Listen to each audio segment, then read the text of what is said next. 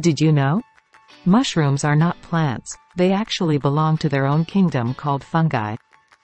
Fungi are unique organisms that have their own distinct characteristics. Mushrooms are excellent decomposers, they play a crucial role in breaking down organic matter and recycling nutrients in the environment. Without mushrooms, the world would be covered in decaying matter,